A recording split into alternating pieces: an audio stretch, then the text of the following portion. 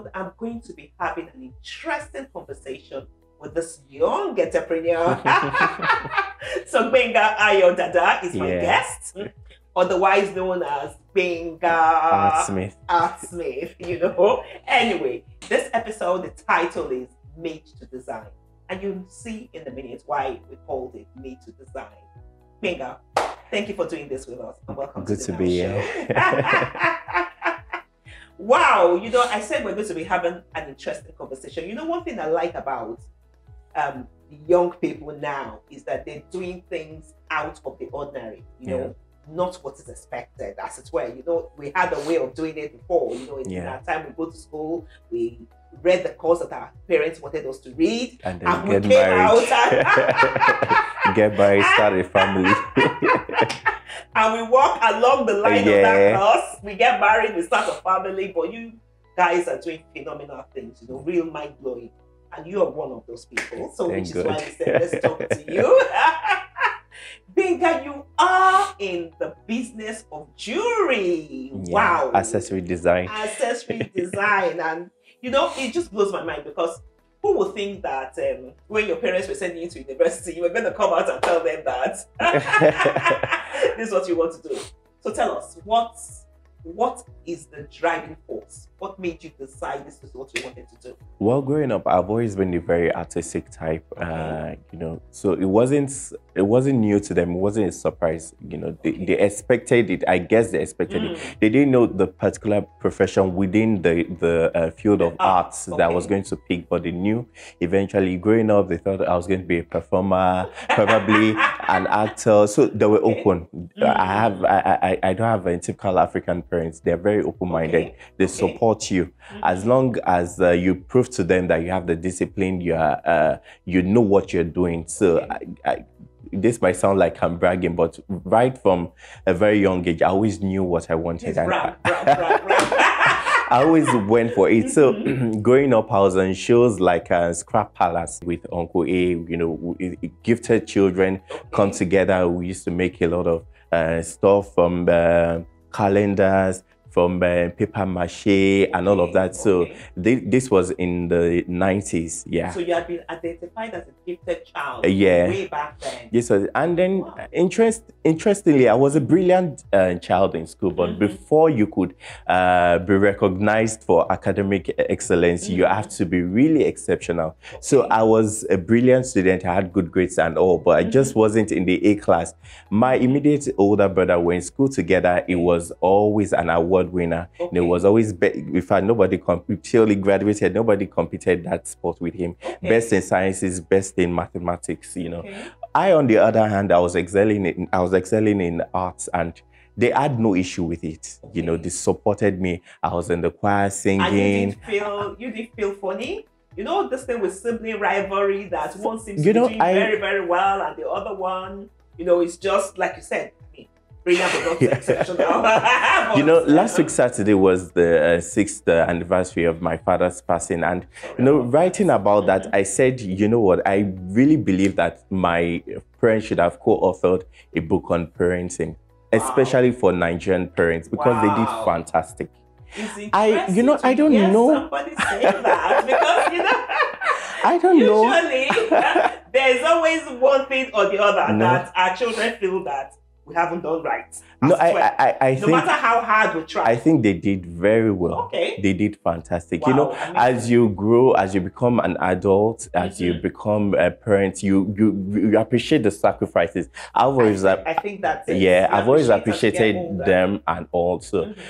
They, there was no room for sibling sibling rivalry. After our father's passing, we said, okay, who's our uh, father's favorite? We could guess, but it wasn't an issue for us. You know, okay. the one that was most like my father in terms Mhm. of cleanliness, being prim and proper, and all. We knew, but it wasn't an issue because he treated us as equals. He never made it known. So Okay. then it, it were made to feel special. It Okay. made me feel special. You know, when I was going to perform, my parents would make it a duty for either the two of them or one of them to be there to cheer me on. I have Okay. I have a very great support system in my family uh, members. I remember my older sister then she was uh, serving, so she was one of the youth corps uh, members. She was serving as a teacher. Then she, she funny enough, she was uh, uh, an ex student of the school. So there was a day that I was singing. Uh, I think it was a song. I can't remember the song now, but I was singing, and then it was a gospel song. I was I'd always been cut out to be different, you know. Okay. In school, then it was cool to sing uh, the Whitney Houston and uh, what have you, Luther Vandross. But I went there and I sang gospel music, so I caught them by surprise and all. You know, from nowhere, she just I just heard her say, I know it was a tush school and all. Yes. From nowhere, Eh, Charlotte War. I was like, oh my god. So embarrassed. I was. I was. Yes. You know, uh, you know, I was really surprised. So they always encouraged me, and the only the only subject I failed was maths. But Mm-hmm. My father never made me feel bad about it. Like, look, at your brother is always excelling in, in sciences. What's your problem? Blah blah blah blah. never said any of those It got me lesson teachers for Wow. maths. One in school, one after school. And still I failed consistently. And other subjects, it was either an A or a B. So, mm. like I said, I was brilliant, but not ex- because for you to be exceptional, you have to excel in all of All the of the subjects. subjects. You know, that was it then. Mm. There was no second best. It was always overall best. I think it was mm. after I left, they started the second best and uh, what Just have you. make some children feel. So I remember when I had my first C C6 because there was C is it C3? I can't remember now. C Okay. C6 uh, Three, C6. four, five, six. Yeah, Yes. it was Mhm. a C6, not even a strong C. In maths, my father popped champagne. We celebrated. Seriously? Wow. So that's the kind of parent that I, I had. So it Mm. wasn't it wasn't shocking for them. You're, you're, you're teaching us lessons in parenting and parenting. That's know, where, yes. I look, I look at us today. I mean, my brother can brag that Gbenga Artsmith is my brother. I can also brag about him. Like I have a brother who is very brilliant. He's, a, he's a consultant. If you need, you know, uh, project management is there. You know, unlike if I had been made to feel miserable and I became nothing in life. Mm. My father forced me to Okay. write the uh, the post UME. Then I intentionally failed, and he knew because, like I said, I was a brilliant child, but I wasn't just. I mean, JAMB was 250, 251. If I wrote uh, IFE exam, I got. Uh, uh, I- 298, you know, very good results. Yeah. But I intentionally mixed up my subject combination. I wanted a particular school. So I eventually went to the school. My father was embarrassed, like, oh, why would you, of all schools to attend, why would you want to go to this school when, you know, we could as well take you to a private a university and all.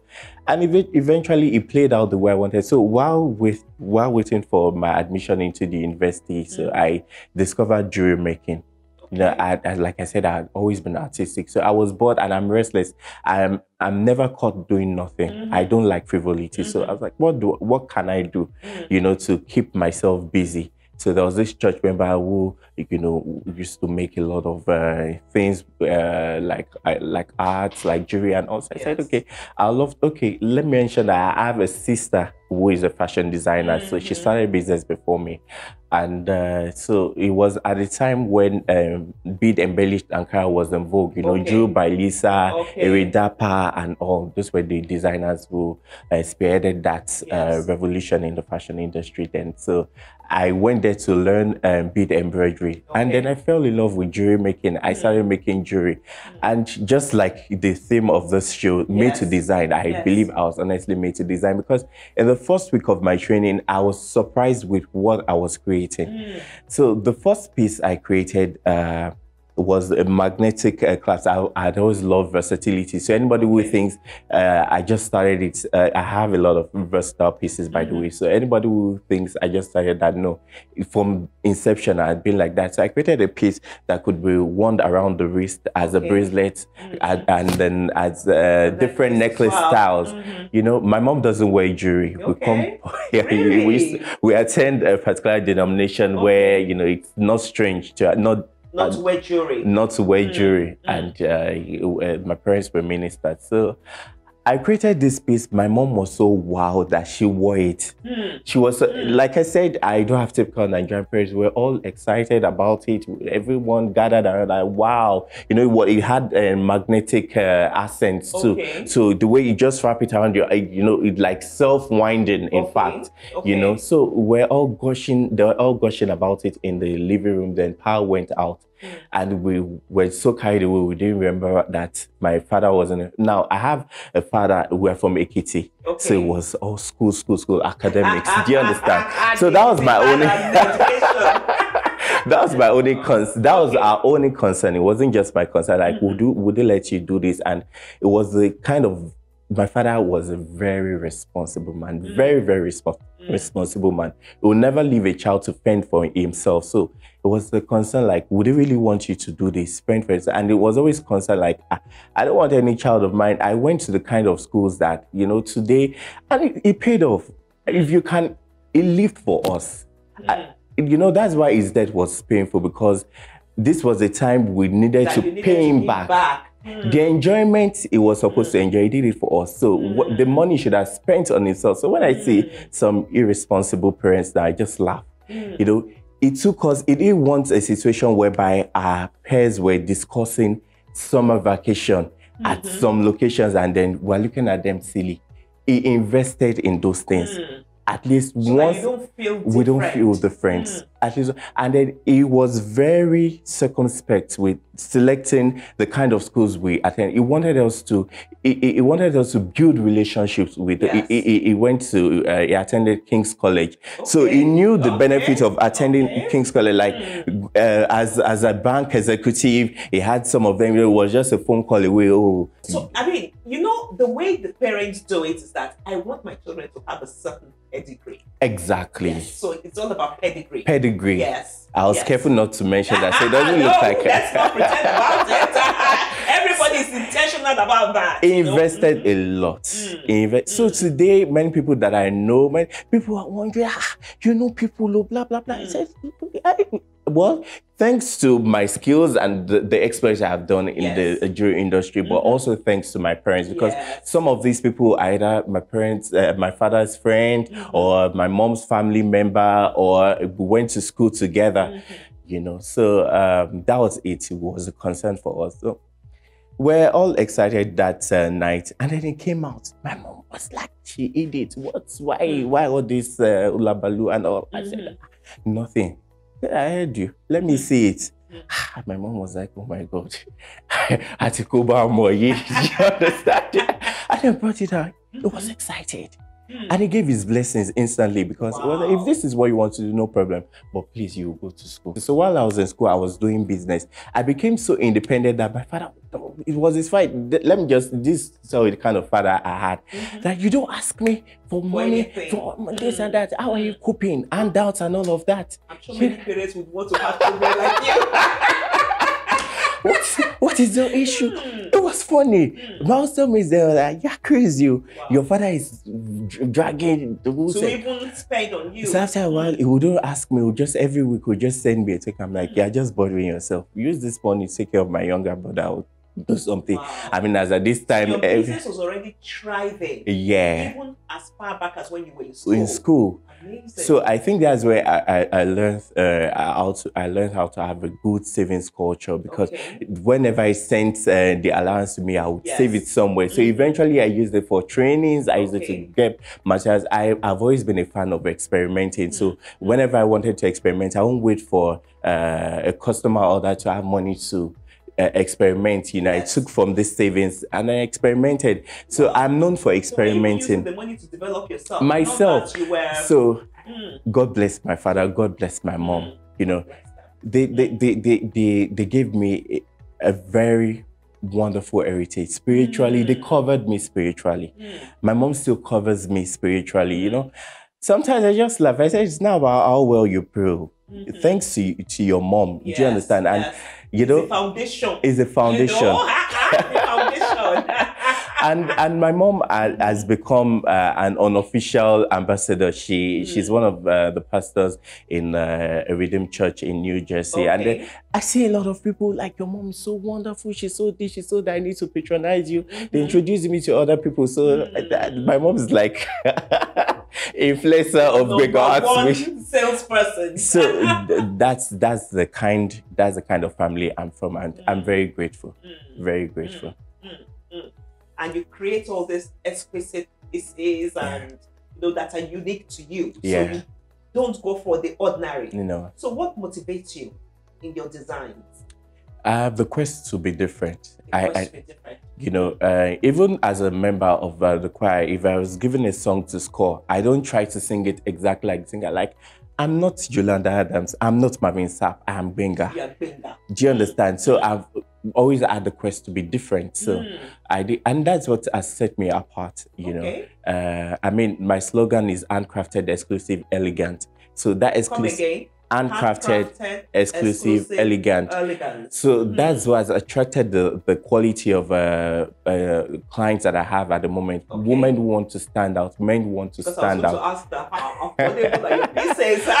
Funny enough, we're quite we're not cheap, but we're affordable. okay, you're not cheap, you're affordable. Affordable. I like that. Yeah, compared to- affordable is relative. It's what you call relative. affordable. Yeah, but it's because of my target audience anyway. Okay. So it's Okay. affordable for my target audience. You, this young man, you're intentional about everything. Eh? well, I it's like it's necessary because I, I I'm not selling to everybody. So if you Mm. come to me and say Mm. your things are expensive, tell me you can't afford it. okay. That's that's a different thing. Mm. You know, I, I, back then I, there was something I used to say in Pidgin that uh, there's no such thing as expensive. Now your money never reach. I mean, so when when oh, when yeah, your money never reach. How your money reach? oh. so when I'm buying stuff, I'm I'm, I'm very aspirational. So Yes. when I want something Mhm. and then I can't afford it at the Yes. moment, rather than just what many Nigerians do that is very annoying. So Mhm. they go on uh, a calumny campaign against the brand. That's too expensive. What are they doing? Mm. Is it not just gold filled? Is it real gold? Is it this and that? You can't afford it. Keep your mouth shut.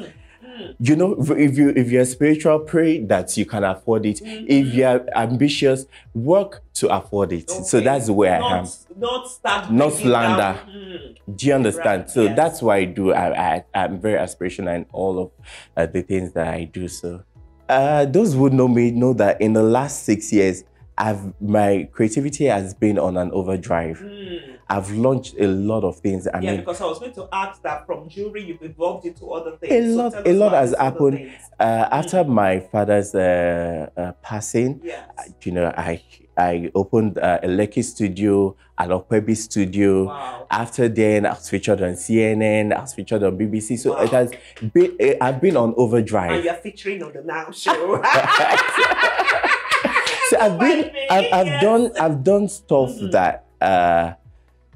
You know, I just want to make him proud, and Mm. that informed my. I, I was Gbenga Dada before, Yes. but after his passing, I started to incorporate his, His name. in name it as makes so, well. and Okay. now I'm Gbenga Ayo Dada. So Mhm. anybody want, wants to uh, put Gbenga Dada, no point of correction, Gbenga Dada, because so everything they that I the do. son of who you are. Exactly. Yeah. Mhm. everything that I do is in is in honor of him. So it drives my consciousness in Mm. whatever I do. So Mm. uh, frugality is key to my brand right now. We Mhm. do after his passing, I started doing advocacy campaigns. So I pick different topics, uh, Okay. mostly breast cancer and cerebral palsy. I have Okay. a brother who lives with cerebral palsy. Ooh. So advocacy campaigns and all of this, all of this, I just want to make him and now they're hearing about you on the Now Show on Channel TV. Yeah, so yeah. I just want to make him proud. well done. Well Thank done, you. Well done. Where do you see yourself five years from now? Hmm. This one that you're already all over the world. Where do you want to go again? So I, I'm not a fan. I'm, I'm an NFA. Hmm. I am not a fan When of planning. You you know? Like like like uh, the Bible says that don't worry about tomorrow. Mm. I mean 2019 20, 2020 sorry Mhm. has um, proven to us that you know you're just wasting your time with uh, you know planning about the tomorrow you can't brag about. Mm. You, the tomorrow you, are don't know. wasting your time planning about the tomorrow You're not sure. you cannot brag about. So I live I live in the that. now like the show says. Ooh, Do you understand? So I don't try to preoccupy myself with thoughts about tomorrow when I've not even mm. done anything today. Because mm. what I do today is what will give birth to tomorrow. So if I'm not creating any legacy today, there's nothing that will be celebrated tomorrow. So if tomorrow I want I to be celebrated, on that again. If you are not Creating a legacy a today, today, tomorrow there's nothing, there's to nothing to celebrate. celebrate. So if you are saying, "Oh, tomorrow I want to be featured on this, I want to be in Forbes list and all that," you're Mm. so preoccupied with that, you're doing nothing Mm. today. You're wasting your time. Mm. So this is what I do. Is it that I live a visionless life? No, I don't. Mm. I what I do is to seek God's will first, and then I pattern my plan after, God's will. will Because God. God's will is sacrosanct, it's Mm. never changing. Mm. You know, Mm. God doesn't change his mind. We human beings are such that today we think of something, there's a there's a there's a policy change, and then you tweak the plan. God knows the beginning from the ending. So his Wow. his will it's eternal. Mm. Do you get my Mm. point? So uh I seek God's will first and then I create a plan. So last year, people saw me, eh, according to them, balling, and they're like, How are you thriving in the midst of the pandemic? Mm. It's because I patterned my plan after God's will. So Mm. nothing caught me by surprise. There was an I had uh, a solution to every problem. I had an answer to every question. solution to every problem. Yeah. Mm. So I, I my mind is so that I'm um, it's fashioned to see possibilities and impossibilities. So when I see a tragedy, I see an opportunity. My father used to say something that uh, when there's a car accident, you know, every other person sees a tragedy, but an insurance man is happy because he sees an opportunity. and opportunity for you to. you know, so that's the Yes. that's the way we're Mm. brought up to see Mm. opportunities. So when my father hates you lamenting, so you're lamenting about the government and uh, what can you do about it Mm. in your own little way. So that uh, drove my uh, different um, initiatives like the advocacy campaign, my internship program, Mm. and all of that, my charity drive, and all of that. Because Mm. I'm like, okay, we're talking about the government not doing something. What can we do for our community? Mm. Who is going to bed thanking God for your life? Mm. Do you understand? Because at the end of the day, nobody will remember me for uh, my exploits. Will probably not remember me for my exploits. Will not Mm. remember me for the designs I created or how wealthy I, I was in my lifetime. Mhm. What they Mhm. remember is what I did, the impact, The how I made them feel. Mm. You know, we think of certain names and then we, we just, you're, you're joyful talking about them like Mm. I'm doing about my father.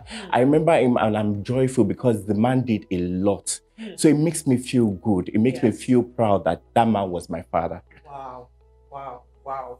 You know, it's so interesting or an- amazing that at the beginning I did say we're going to have an interesting conversation. Even I wasn't prepared for this, and um, and surely this has been an interesting conversation. If not that we're constrained by time, Yeah. I'm sure we could go on, On and, and on on. and on. Yeah. So, what would be your last word to our viewers? Something Uh, since I'm representing young adults, Yes, I would say stop minding where uh, the other person's bread is being buttered. Mind yours. So I, there's something that is very common to young people Mm. right now, and it's um, this thing with social media uh, followership and the number of likes. Hmm. So I have friends who have uh, thousands of followers, millions of followers on social media, and then there was a particular one that was lamenting that our engagement had dropped. I said, "It has dropped. What do you mean? Your video still gets over a hundred thousand views. Your likes are still in the thousands. So what? You, what are you talking about?" I said, "No. Before she used to have tens of thousands in likes. Now she has just like one thousand and something." And she was lamenting. She was almost getting depressed. I said, "Okay. So those of us that have just uh, 50 something thousand followers. What do you expect us to do? We have uh, um, uh, what's it called? Likes in, uh, in hundreds on the average. Mhm. Just once in a while, we get over uh, over a thousand likes. And then I spoke to her. I said, you know what? What you're seeing as a problem, what you're seeing as insufficient, is somebody else's success. If I have Mm. half of what you have, I'll be happy with myself. So celebrate what you have. Don't be hard on yourself. You're Mm. doing well. You're doing fantastic. So be true to yourself. Stop. Wow, it's been an amazing time. So, until we come your way again on another episode of the Now Show, I'm your regular host, Abosede Ozao Show, signing off. with Gbenga Ayodada. Gbenga, thank you. You're welcome. Don't forget to like this video. And if you haven't, subscribe to the Now Show channel today and hit the notification bell so that you do not miss any video that is uploaded. Thank you for watching.